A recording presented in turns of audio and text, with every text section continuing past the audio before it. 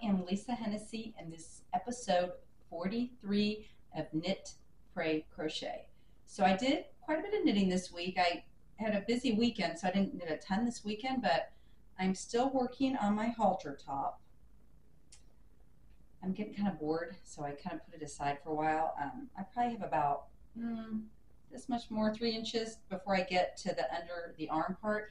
And once I divide the front and back, it's going to go a lot quicker. So, I mean, I doubt, I seriously doubt I will have this ready next week or finished next week because um, I'm just doing other stuff in between. And then the sweater I made last week that I'm going to donate right here, it's going to go to the homeless. I made a headband. And on the, I'll put the instructions in the show notes. I think I cast on 10 stitches and I knit two, purl across, knit two, and then on the on the other side I just knit straight across. So I'm pretty sure that's what I did for this. Um, I have to recount. I can't. I think it was 10 stitches, but I'll put it in the show notes because it was super easy to make.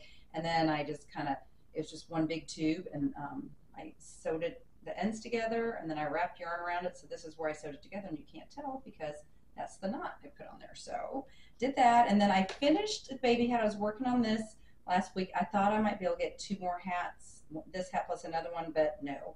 I will probably get a hair scrunchie with what was left over, but that hat's finished. To, it'll go get donated. And then I was going to make these ties for the caretakers. I was going to make a bunch of them to give to them, but they take a little bit longer than I thought. And if I want to do them as Christmas gifts, then I would probably have enough. Um, but I don't want to do that because I want to give them something now. And this is more of a summer headband because it's holey, you know, it's like lacy. So I'll just probably give these away to people. I, I made the pink one and this one, and so I'll just tag them and just bless somebody in the community that I see that's got their hair pulled back, maybe a, a you know a teenage girl or you know a 10 or 12 year old, like, like something that. So what I thought I'd do is just make a bunch of hair scrunchies with with yarn that I had that I'm just trying to get rid of. So this was just some. I love this cotton. I had a ball of it. Um, didn't have enough left for too big of one, so this is a smaller scrunchie. And I will put the link to the video how I made these hair scrunchies. Uh, and then this is some really nice, fun, bright, bright colored ones. And then this one I like. It's um, it's just some yarn I've had for a long time that I know I'm not going to make anything out of. I think someone donated it to me. Um, so this is it in the stockinette, and then this is on the garter stitch. And since I have so much of it, maybe I'll do a knit one, purl one, knit two, purl, something like that. In fact, I think on one of these, I did do a knit one, purl one. Um, I don't know. Maybe not. Oh, this one. I did a knit one, purl one on this one.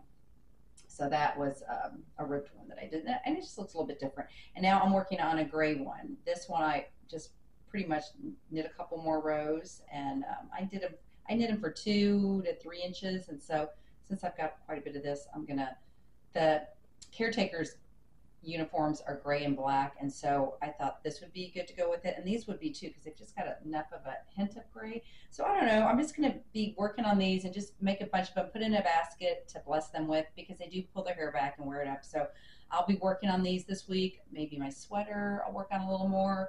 I might bring that with me to knitting um, on Wednesday because I'm sitting for two hours and I should at least get that three inches knit where then I can divide it off. So those are my knitting ones for the week did not give any gifts away, um, but I did pray over, you know, this whatever sweet little baby is going to get this. I just pray for the mother to choose life and to, to keep the baby or give it up for adoption, but to choose life. And so that's what I pray and to be raised in a Christian home. So that's what I pray when I make any baby hats, whether I'm donating or giving them away. That's how I pray over those things. And of course, you know, something like this, I'm just praying for God to warm the um, ears and um, soul of whoever wears this, because um, this will be passed out to the homeless people. So I mean, those are just some ways I pray for what I'm making.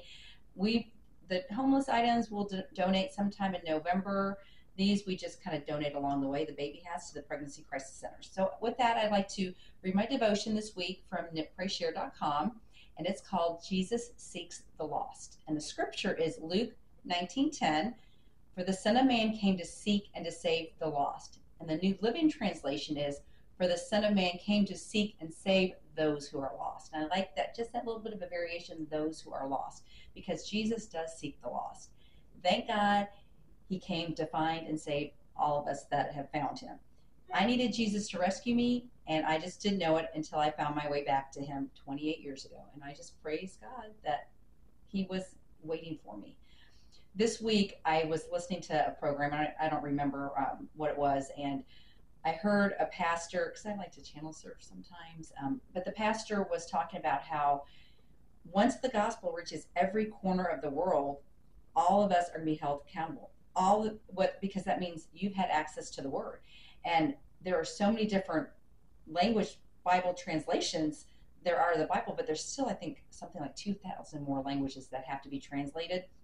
And I read it. I found an article in Premier Christian News, and it says Wycliffe, which is who translates the Bibles, hopes that in the next 10 to 15 years, 95% of the world's population will have the Bible and that 99.95% will have a New Testament, and everyone will have access to at least some portion of Scripture.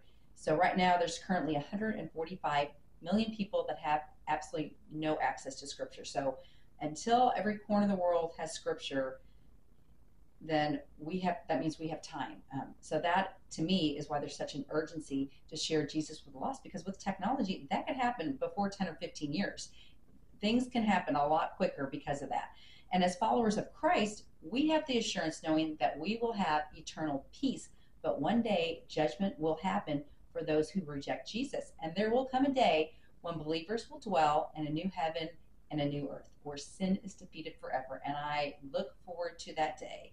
I want to do whatever I can to make sure that those that don't know Jesus find him because nothing is more important than telling others about our Lord and Savior and what He's done for us and how our lives have changed.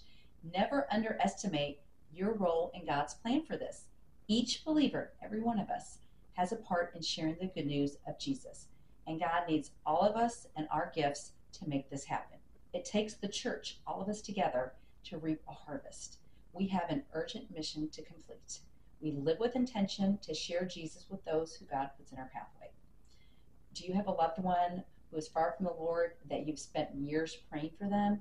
And do you feel as if God doesn't hear your prayers? He does. Because and he's working in both the physical and spiritual realms.